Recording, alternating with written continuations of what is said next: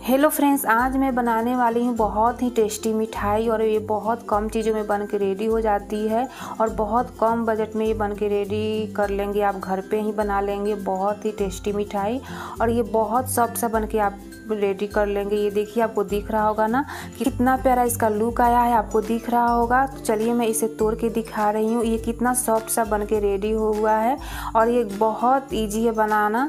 तो अगर मेरी वीडियो अच्छी लगे तो लाइक कर दीजिएगा और चैनल को सब्सक्राइब कर दीजिएगा और बेल आइकन को भी दबा दीजिएगा ताकि जो भी मैं वीडियो डालूँ, सबसे पहले आपको नोटिफिकेशन मिले। और चैनल पर नए हैं तो प्लीज़ चैनल को सब्सक्राइब कर दीजिएगा। तो चलिए इन्हें हम बनाना शुरू करते हैं। तो सबसे पहले मैं ली हूँ एक मिक्सर जार और आधा कप मैं डाली हूँ नारियल का बुरादा और एक कप मैं डालूँगी यहाँ पर दूध।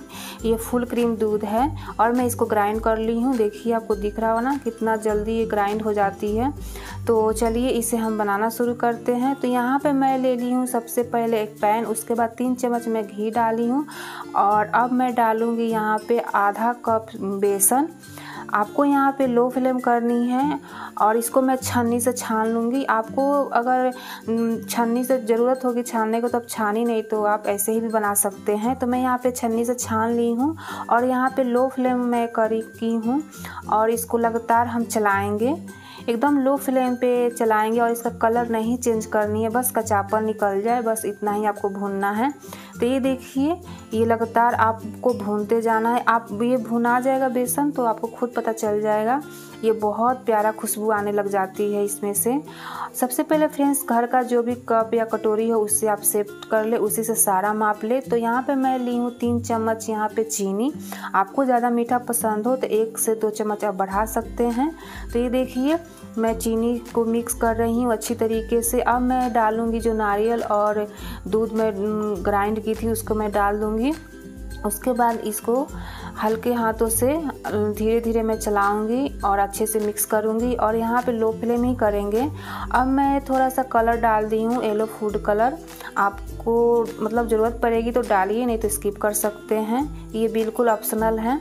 तो ये देखिए थोड़ा सा लुक चेंज करने के लिए मैं डाल दी हूँ। तो अब मैं डाली हूँ हरी इलायची का, मैं कूट ली थी। आपके पास पाउडर हो ना, उसको भी आप डाल सकते हैं। तो ये देखिए, ये मिक्स कर रही हूँ और यहाँ पे भी मैं लो फ्लेम ही की हूँ। अगर आपके पास नारियल का बुरादा नहीं हो ना तो आप एक आधा कप जो मैं डाली थी नारियल का बुरादा, आप उसके जगह पे मिल्क पाउडर आप डाल सकते हैं। उससे भी बहुत टेस्टी मिठाई बनती है। तो ये देखिए, कितना अच्छा से बाइंड होना शुरू हो गया है फ्रेंड्स तो ये बहुत आसान है बनाना फ्रेंड्स ये मिठाई इतना ही टेस्टी लगती है ना, आप बिलीव नहीं कर पाएँगे. जब ये बना लेंगे ना, और जब आप खाएँगे तो बोलिएगा ये कितना टेस्टी मिठाई बन के रेडी हुआ है. तो ये देखिए, बिल्कुल ये फाइनल हो गया बन के मेरा मिठाई. अब मैं कंटेनर लूँगी, उसके बाद मैं घी लगा दूँगी. अगर आपको बटर पेपर लगानी है तो लगाई नहीं तो स्किप कर सकते हैं। ये इतना सॉफ्ट है कि अपने ये बहुत जल्दी ये डिमोल्ड हो जाता है। तो यहाँ पे मैं बटर पेपर लगा के और यहाँ पे मैं सेट कर रही हूँ। तो ये देखिए कितना अच्छा से सेट हो जाता है। तो इसको मैं आधे घंटे के लिए फ्रिज में रखूँगी कि ताकि अच्छे से सेट हो जाए। तो आपको आधा घंटा ही रखना है। तो ये देखिए अच्छे से मैं सेट कर ली हूँ। अगर आपको यहाँ पे ड्राई फ्रूट लगानी है तो आप लगा सकते हैं। तो ये देखिए आधा घंटा हो गया है, अब मैं डी मोल्ड कर लूँगी। तो ये देखिए बहुत आसानी तरीके से डी मोल्ड हो जाता है फ्रेंड्स ये बिल्कुल मतलब तो कोई आपको दिक्कत नहीं आएगी और मैं कटिंग करूँगी। आप अपने पसंद से जैसा भी आपको कटिंग पसंद हो, आप कटिंग कर सकते हैं। तो यहाँ देखिए मैं कटिंग कर रही हूँ, ये बहुत जल्दी कटिंग हो जाती है, कोई दिक्कत नहीं आएगी आपको काटनी कटिंग करने में। तो ये देखिए कटिंग हो चुका है। अब मैं दिखा रही हूँ, इसका कितना लुक कितना प्यारा आया है और बहुत इसका टेस्ट इतना अमेजिंग है ना। मैं क्या बताऊँ आपको?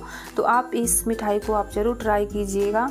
और थोड़ा सा मैं यहाँ पे थोड़ा बादाम में डाली हूँ, थोड़ा अच्छे दिखने के लिए। ये देखिए कितना प्यारा लग रहा है मेरा मिठाई। तो ये देखिए तो आप एक बार ज़रूर ट्राई कीजिएगा। मैं आपको ये तोड़ के दिखा रही हूँ। इसका टेक्सचर कितना प्यारा आया है और इतना सॉफ्ट सा बन के रेडी हुआ है ना ये मिठाई। आपको दिख रहा होगा। तो ये देखिए, मैं तोड़ के दिखा रही हूँ। इसका टेक्सचर कितना प्यारा आया है। ये देखिए, आपको दिख रहा होगा। तो अगर मेरी वीडियो अच्छी लगे तो लाइक कर दीजिएगा और चैनल को सब्सक्राइब कर दीजिएगा और बेल आइकन को भी दबा दीजिएगा ताकि जो भी मैं वीडियो डालूँ, सबसे पहले आपको नोटिफिकेशन मिले। तो प्लीज़ मुझे भी सपोर्ट कीजिए, बहुत मेहनत लगती है वीडियो बनाने में। तब तक के लिए bye bye and take care.